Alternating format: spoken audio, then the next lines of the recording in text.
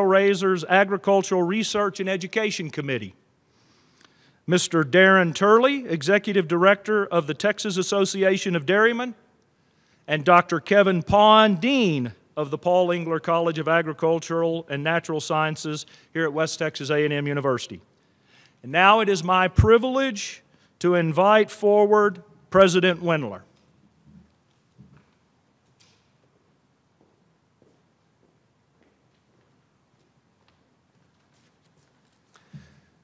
Todd, thanks so much, and thanks to all of you for being with us this morning. I know many are with us on um, audio, uh, video stream, and we appreciate that too. Um, we are um, blessed at West Texas A&M University uh, for system leadership under the direction of Chancellor John Sharp. He wishes he could be here today, but he couldn't make it. Travel restrictions and uh, busyness at the system in helping shape policies that allow us to respond intelligently to the COVID-19 challenges. Also, someone who was central in this process, Dean Eleanor Green from the College of Veterinary Medicine at Texas A&M University, also sends her regrets today. Both of these individuals were central in much of what we celebrate here today. During the 86th legislative session, WT received $4 million uh, in appropriation over the next two fiscal years to establish the Center for Advancing Food Animal Production in the Panhandle. The founding of that center and the aggressive expansion of ag education is in line with efforts to reach local and regional industry needs in the Texas Panhandle. It is our first priority of our long range plan, WT 125, from the panhandle to the world.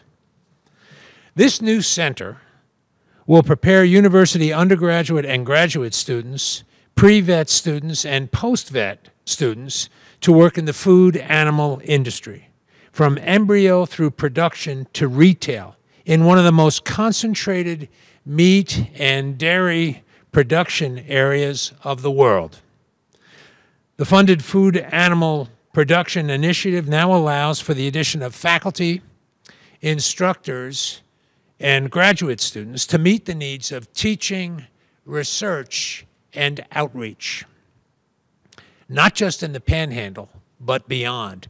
Knowledge and insight that are gleaned right here in the Paul Engler College of Agricultural and Natural Sciences will be spread well beyond our borders and will make WT more vital to the Panhandle, I think, than ever before.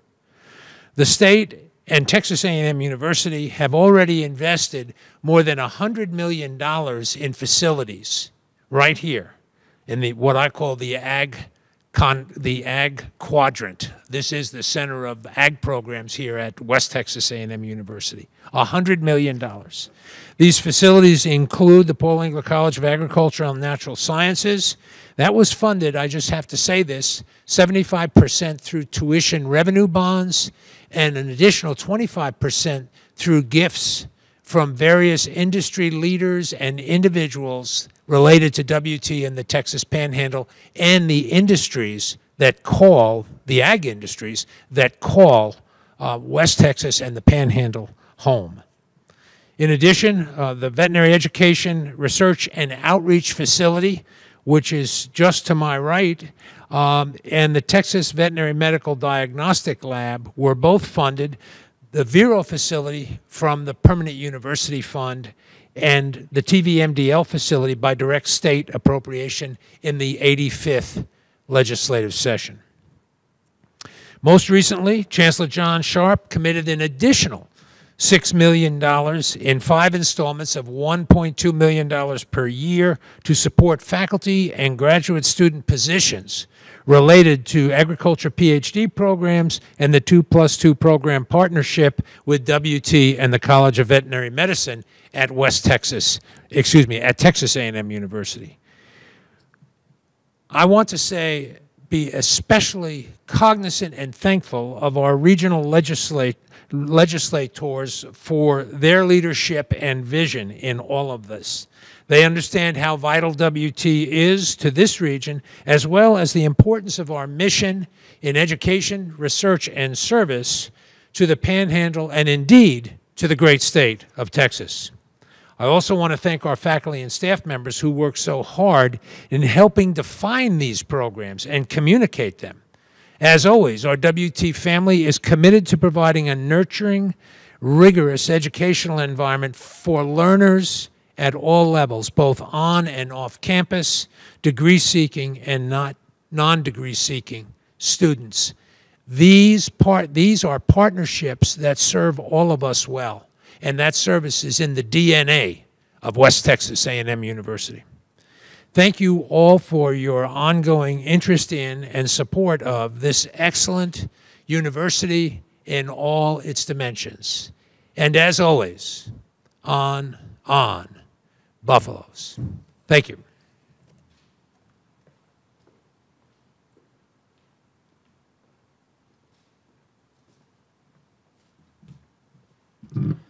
Well, thank you for joining us this morning. Uh, the, the arrival of President Walter Wendler and the creation of WT 125 has resulted in WT reinforcing our commitment to be a regional research university. Uh, Dr. Rasberry had asked me for this event to kind of explain what a regional research university is, and so I'm going to read this uh, kind of a, a short statement from WT 125, at least providing an overview. The overall purpose of a regional research university is to serve regional students and regional needs first believing that if the institution cannot serve locally first, it will serve nowhere well.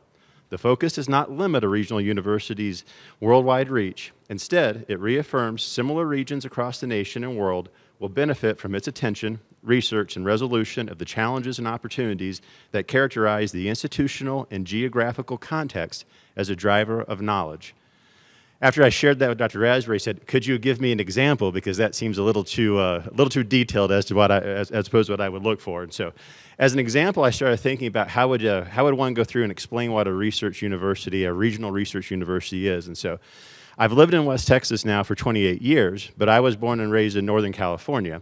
And I don't know that you can end up finding two regions that would be much different than West Texas versus Northern California. So, as an example, I would consider myself someone that would be fiscally very conservative, but at least socially aware. So I think that would make me a moderate conservative, at least in West Texas. But in Northern California, that would make me a very strong white ring, uh, right-wing conservative. It is not the same environment.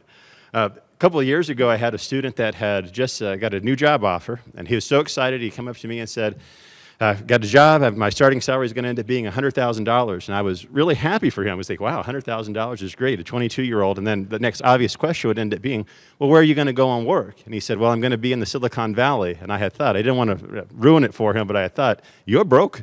You're going to have to live in your car. That is a completely different cost of living there. That's that'll probably be three times more expensive than what it would end up being to have a, to live in the West Texas area. And so, and even whenever I think of the two as as different places, I think of the agriculture production.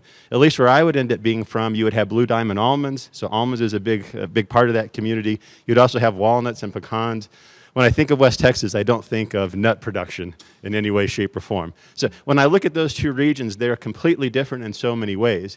Whenever you think of a regional research university, one of the things that we would do when it comes to research in this part of the country is that we would look at things like drought and water conservation, and we would look at things like uh, wind energy and dealing with wildfires. And the reality is, although those areas are completely different, geographical context, political context, uh, economic context are completely different. The research that we do in, the, in this area translates very easily to what needs to end up being done in that area.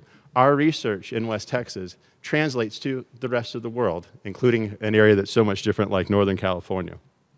As part of our research effort at WT, WT is committed to expanding our doctorate programs. If you go to 2016, the number of doctorate students WT had in the program at that time was 13. If we look at it in 2020, we're up to 47 a completely different uh, change when it comes to those, that doctorate initiative.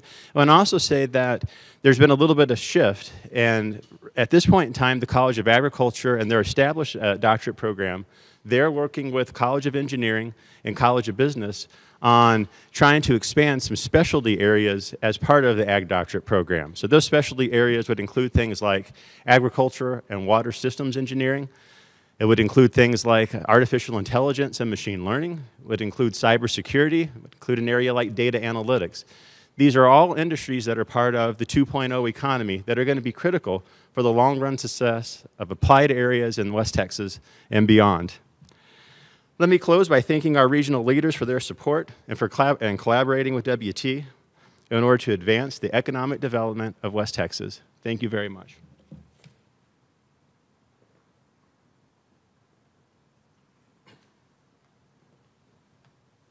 Well, good morning, and thank you very much for having me today. I'm Ken King, State Representative for House District 88.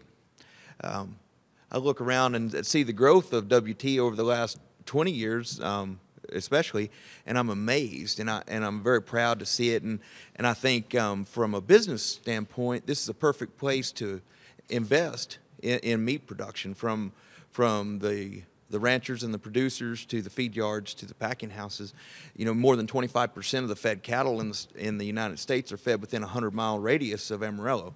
So this is, this is the epicenter for meat production and dairy of, of the United States and largely and, and large part of the world.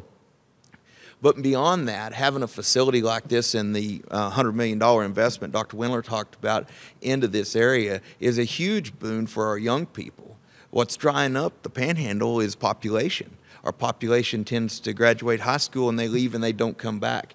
Having a facility like this that promotes education and research is, is a huge cog in the wheel to bring our young people back here and, and, and have them live in the panhandle and, and keep representing our values and our way of life.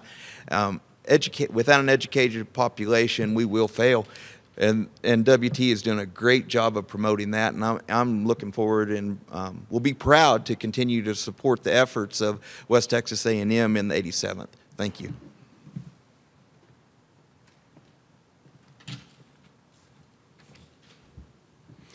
Well, good morning. I'm Four Price, State Representative for House District 87, and it is really an honor to be here this morning. Thank you, Dr. Wendler, for the invitation to join you uh, there are many jewels in the panhandle in higher education specifically, but uh, West Texas A&M University and the Center for Advancing Food Animal Production is certainly one of them and something we can all be proud of. Food animal production initiatives at West Texas A&M University are absolutely critical. And Dr. Wendler, thank you for uh, your kind words about the legislative support that the delegation here has provided, but it is definitely a two-way street you all have been wonderful in providing us and equipping all of us with the information necessary to advocate for uh, not only this center and, and WTA&M University generally, but the initiatives and programs that you're promoting and developing here, just not only for the benefit of students, but for the benefit of research and for the benefit of our uh, ag industry and our producers and processors and everybody, uh, uh, all the stakeholders involved. So I really do appreciate and want to make sure you know how much we're grateful for that information and your cooperative spirit. The location of West Texas A&M University's uh, food animal production program and just the university itself is critical and I think very strategic. We have uh, obviously a benefit of being located right here in the beef capital uh, of our country. We have uh, the benefit of being in an agriculturally uh, based center of the state of Texas, and we provide not, not only for the state of Texas, but for the entire country. And so, to advance these initiatives and programs and build upon the strength of a regional university, as Dr. Terry mentioned, I think is absolutely strategic and critical. Obviously, it's important to us here at home. Uh, it's important to our state of Texas and the Panhandle community and our economy, but it's important to us as not just a state leader and national leader, but a global leader. West Texas A&M University is being recognized internationally as a leader in this area, and I think it's fantastic that we are leveraging that right now with programs like this. I think it raises the university's profile, and I think it obviously helps with cutting edge research and the attention that it receives as well. A significant portion of the nation's food animal industry is receiving cutting edge research support that will help producers grow and prosper in a time of increasing global demand and pressing sustainability and food safety issues. with all of the animals and agricultural activity right here in our Panhandle community. Successful initiatives and programs like these are a huge economic shot in the arm for the state of Texas. To have research faculty, facilities, and programs out here addressing important research matters and talking to producers and talking to processors and industry stakeholders is absolutely a win-win for everybody involved. Uh, I know that, that like Representative Smithee and Representative King and Senator Seliger and others, we're all very proud to have supported the initiatives at the, at the uh, state legislature in the past and, and, and will gladly and wholeheartedly support them in the future. Our state's investment is reaping and will continue to reap many future dividends. Among them are advancements in ag education and enhanced research in food production to the benefit of students, industry, ranchers, farmers, and ultimately for the benefit of the American consumer. I just want to take a second to, to, to thank not only Dr. Wendler and everybody sitting up here who have pr- uh, proven their uh, dedication to advancing these initiatives, but uh, to other folks who aren't here. I see Dr. Keith, and Dr. Keith is, is uh, very much uh, a leader in, in, in, advocating not only uh, for these programs, but, but right here on campus, helping advance them as well. I'd be remiss if I didn't mention Dean Hawkins and what work he did in the past to, to bring us to where we are today. there's so many others, Dr. Bob Robinson, Ty Lawrence. There are just so many people who are uh, to be commended for all the work that they've done. I really appreciate that. It makes our job easier, but I'm really proud to call you colleagues and, and see the great work that you're doing. Again, I want to thank Dr. Wendler and WT uh, for strengthening your foundation of support and progress for ag sciences right here on this campus. Thank you very much.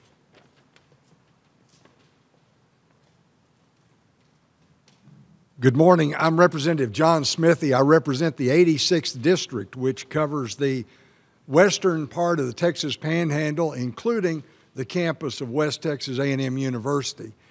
You know, uh, as you as you stand here in this impressive new building, it's uh, it's hard to remember that just a few years ago this was an empty field, and uh, it's it's an impressive structure. I think anybody that has been in this building and this entire facility has to be impressed with the job and the work that's being done here.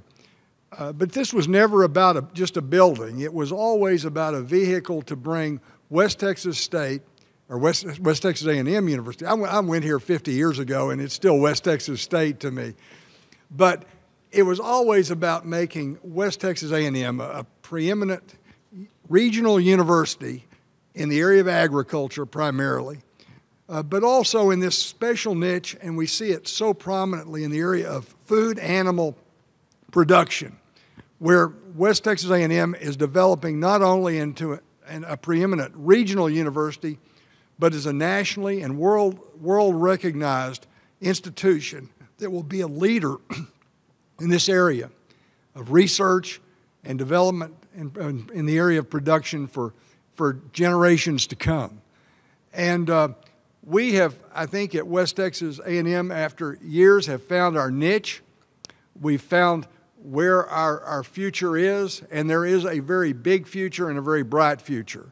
Uh, so I, I, would be remiss, and I think all of us would be remiss, and, and uh, Representative Price pointed out a lot of the people who have been responsible for this, but this is all the result of a vision that has, has developed over a number of years.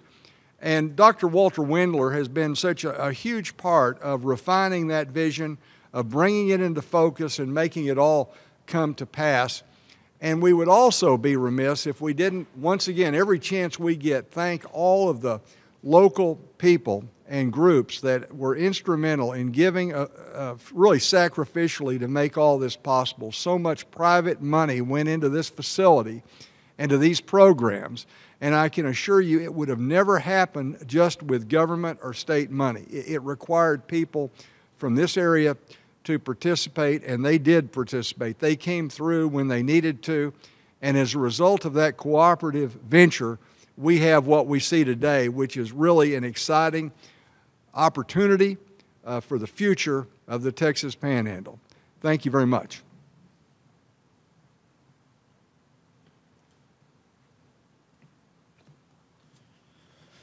Good morning. I'm Josh Winegarner. I'm the Director of Industry Affairs for Texas Cattle Feeders Association.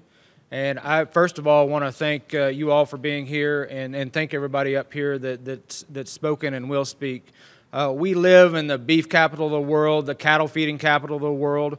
We also live in the uh, milk production capital of our, one of the leading places in our country. And then we are also in the uh, pork production capital of our state. Uh, you can see the strength that we have in animal agriculture and the, the economic effect that has on our region and our state. And uh, this uh, Center for Food and Animal Production is the culmination of an effort between uh, industry, the university, and then our legislative leaders who have helped us create this investment in the future of our economy and the future of our industries.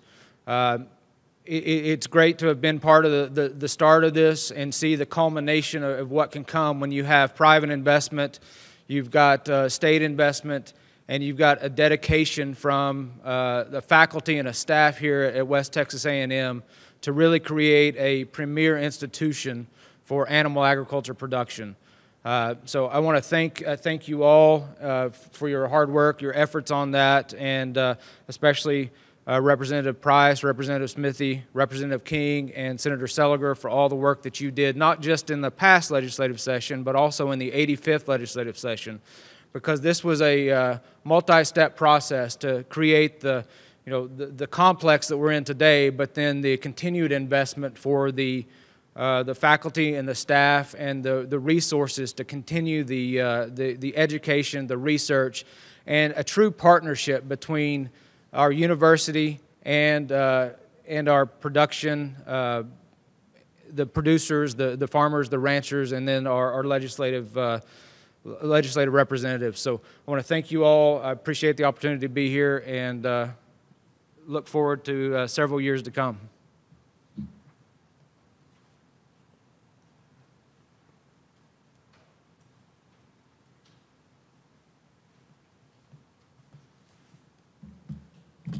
I'm James Palmer, one of the directors for Texas Southwestern Cattle Raisers Association.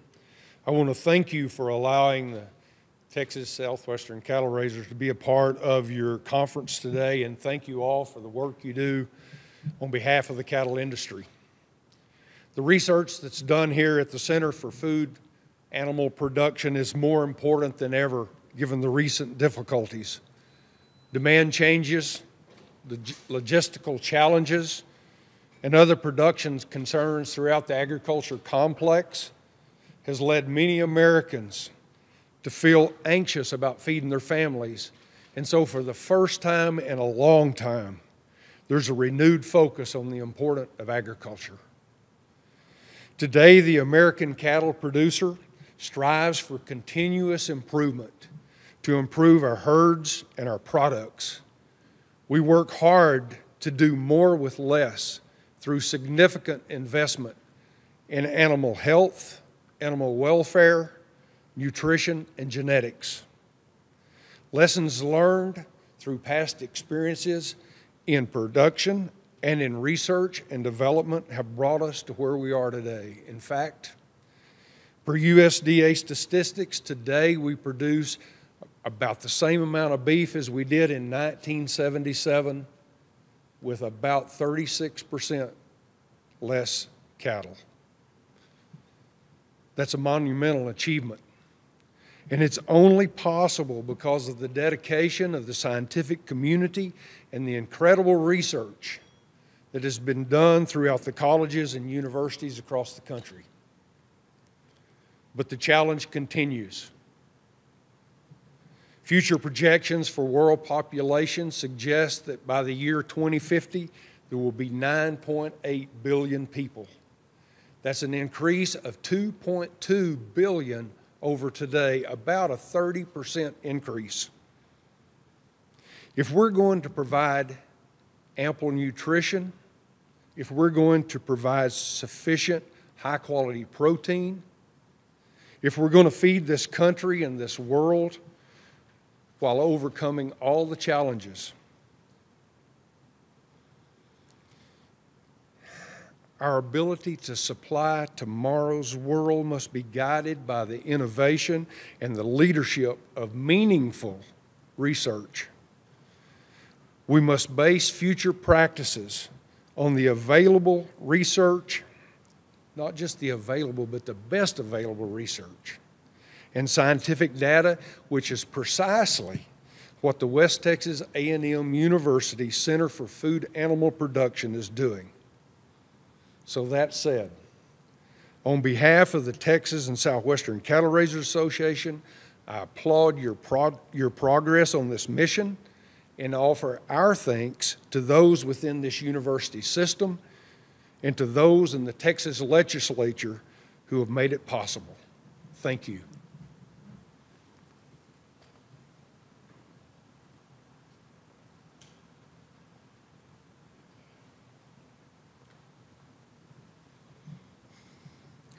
Texas is the fifth largest dairy state in the country. And today, over 80% of that milk produced in our state is produced here in the Panhandle. West Texas A&M is centered right in the heart of our production area. Texas Association of Dairymen is excited about the future for both our organization, our growth in the industry, but more especially the connection we can have with West Texas A&M. We applaud our legislators for the initiative to see the importance of a college that it has a center on animal agriculture in this state and more especially in this area. Our future is connected on how successful we could be here and how well we can work together. The West Texas A&M campus has got the ability to be so centrally located to dairy operations and now plant operations that are popping up here in the Panhandle to produce other dairy products. The industry is going to mature West Texas A&M is going to mature. Both of our futures look extremely bright. We cannot wait for the chance to see how this grows between all the opportunities here with West Texas A&M. The Texas dairy industry applauds the growth here and all that's being done, and we look forward to a long, bright future.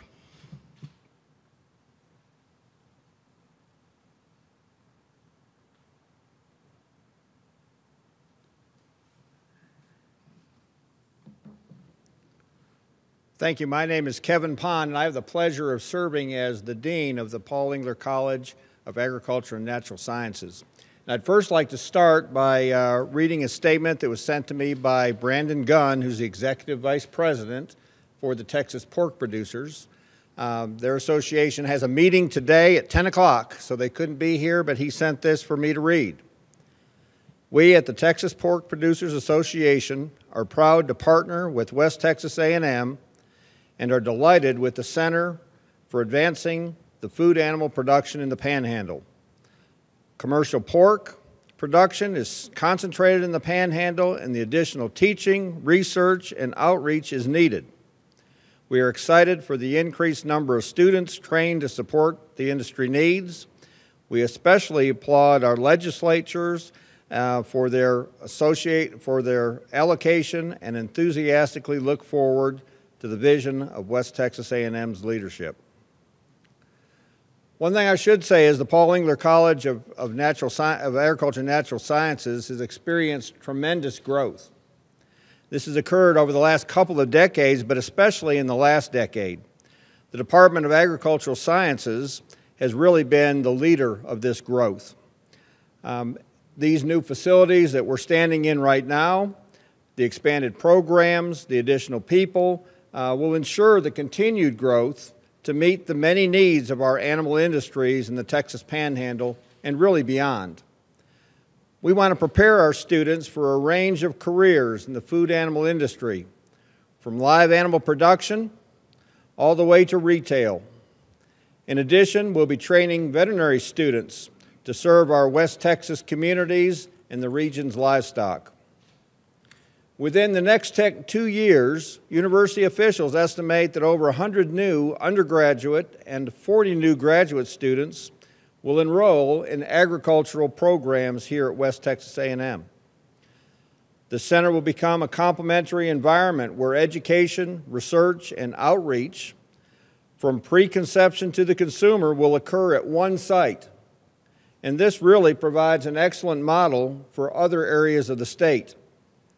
The Department of Agriculture Sciences has added personnel. Dr. Lonnie Luchek, an animal scientist in the meats area, began in January, uh, January 1. Nick Peterson, animal science instructor and the meats lab manager, began, will begin in, in uh, uh, June. Uh, sorry, did begin in June. And we have uh, Phil Polanchek, who is our feed lab manager, and uh, he has uh, taken, taken charge of the feedlot already as well. We have two other positions that are in the interview process uh, a risk management position to help in the dairy and beef areas. And we also have a uh, PhD in genomics, uh, which uh, will, will help in the uh, genetics area. There are eight graduate students uh, going to pursue PhD programs and two master's degree students, and four additional undergraduate students who will be involved in those research op opportunities. They're all on board currently. The Vero program has included uh, personnel and is in the process of uh, beginning those interviews. We have a clinical veterinarian professor that will be one for beef industry and one for the dairy industry as well. We have research scientists, a veterinary lecturer, two contract veterinarians and licensed uh, veterinary technicians and other laboratory support program uh, people that are, are being hired. All this is great, but one might ask, why is this commitment occurring at West Texas A&M University? Some have already alluded to some of those points. First reason is geography. We are located in the heart of animal production. The next is industry partners that we have. Industry partners work together in this region. They're not against one another, so we pull together the people, the people of the university, the people of the industry, the people of the legislature, they all also know how to partner and how to develop solutions to solve problems. And last, our legislators. Our legislators know and understand the needs of the panhandle. And with that knowledge, they work tireless, tireless, tirelessly to make sure those goals are met. So, really, thank you to all of us that are here. Uh, thank you for all of who have contributed uh, to what's going to happen. And I really look forward to celebrating some, some uh, successes in the near future and successes that will last into the distant future uh, because of the investment that has been made.